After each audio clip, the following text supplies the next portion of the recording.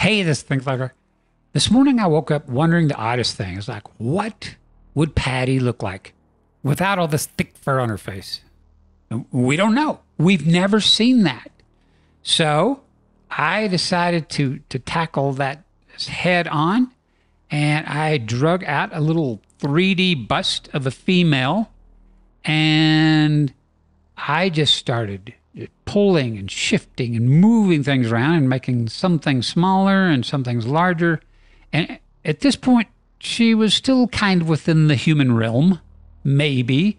And then right around in here, maybe not. Right around here, she started becoming something altogether different. Um, something not human, not not great ape. Something strangely somewhere off in between.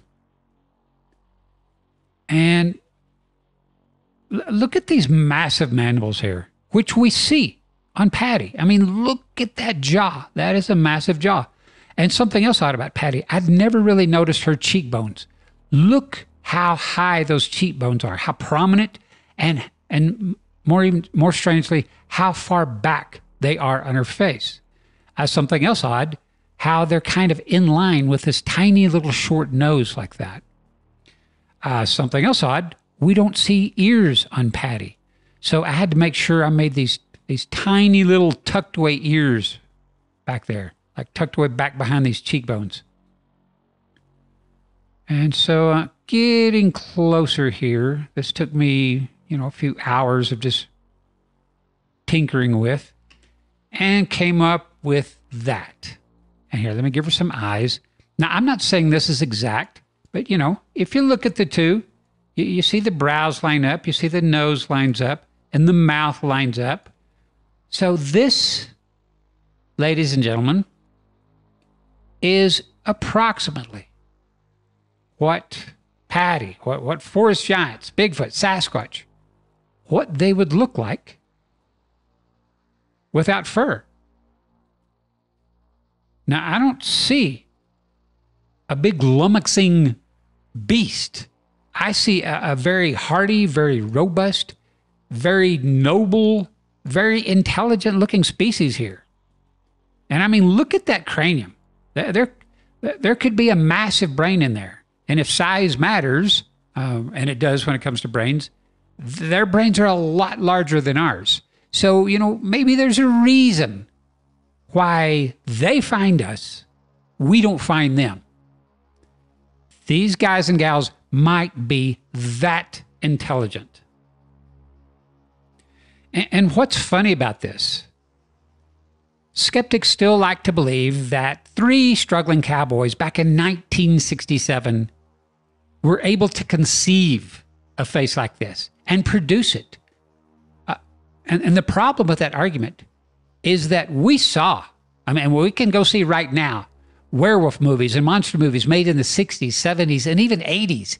And, and frankly, special effects makeup, it was kind of a joke back then, you know? I mean, now it's really sophisticated. Now we have 3D special effects and all that stuff.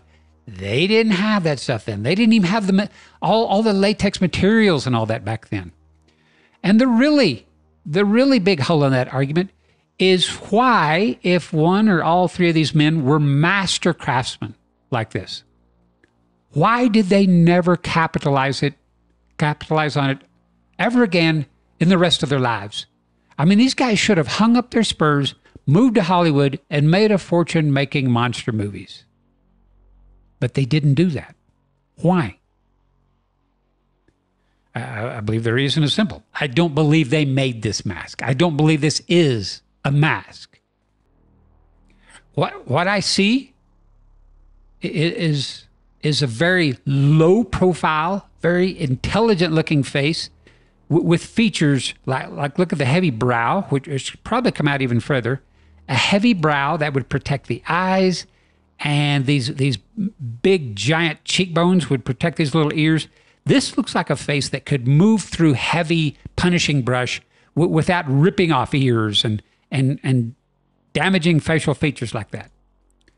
This looks like a species that was built to live where it does, which is, you know, out in the wilds, out on the fringe of where we humans couldn't live. So, so what do you think? Does this look like a living, breathing species? Does this is this believable to you? I mean, for me, seeing Patty here, what she might look like with that fur, gives me a, a whole whole new appreciation for, for this species. You know, I don't see some big lummoxing giant that, that carries clubs around. I, I see I, I, see another uh, a, a people, you know, not human, but but something not not too far away. So so could this be some relic from the past that managed to, you know, that was intelligent enough, clever enough to live alongside man without us and our numbers killing them out? You know, it wasn't that long ago where science said, hey, we might have been wrong about dinosaurs all along, about their appearance. They might have been covered in, in, in feathers, head to toe. So maybe science got early man wrong too. Maybe our, our early ancestors and their cousins, maybe they were covered in thick, heavy fur. Maybe Patty is what a caveman looked like, or cave woman in her case. It's it's at least possible.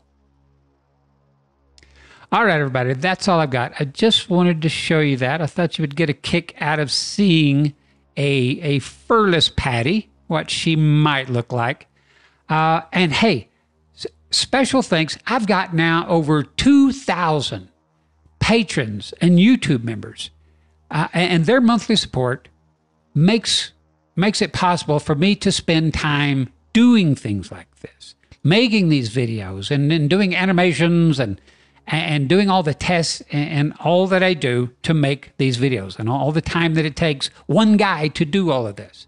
Thank you all so very much. And it's just a buck a month, you know, so I appreciate each and every one of those $1 bills. And some people pay more, but what one is all I ask. And also, special thanks to everybody buying my book out on YouTube. It is doing very well out there. So, thank you all so very much. And for everybody who buys my books and caps and t shirts and beanies that I designed down below, thanks again. And hey, I, I am almost at a 100,000 subscribers, uh, just, just a few thousand away. So, if you don't mind, uh, click the subscribe button. It's free and uh, I, I would sure appreciate that. All right, everybody, take care and thank you so much for watching. Let me know what you think about our, our furless Patty here. Does this look like a believable, living, breathing species? All right, take care.